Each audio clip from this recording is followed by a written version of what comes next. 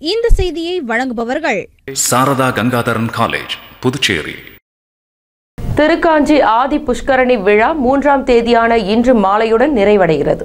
விளினூர் அருகே சங்கராபரணி நதிக்கரையில் உள்ள திருக்காஞ்சி கங்கைவராக நதீஸ்வரர் கோவிலில் ஆதி புஷ்கரணி விழா கடந்த இருபத்தி இரண்டாம் தேதி தொடங்கி நடைபெற்று வருகின்றது. மேலும் இவ்விழாவின் கடைசி நாளான மூன்றாம் தேதியான இன்று ஏழு மணிக்கு நூத்தி எட்டு கலசாபிஷேகம் நடைபெறுகிறது. தொடர்ந்து மதியம் தீர்த்த வாரியும் மாலையில் சங்கராபரணி நதியில் கங்கா ஆரத்தியும் நடைபெறுகிறது. இதனைத் தொடர்ந்து கடந்த பதினோரு நாட்கள் நாட்களில் லட்சக்கணக்கான பக்தர்கள் புஷ்கரணி விழாவில் கலந்து கொண்டதாக கோவில் நிர்வாகம் தரப்பில் தெரிவிக்கப்பட்டுள்ளது.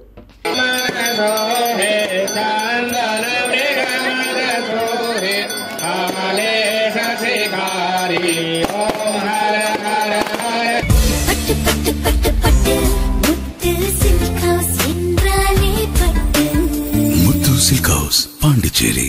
Raja theatre signal அருகில் மட்டும்.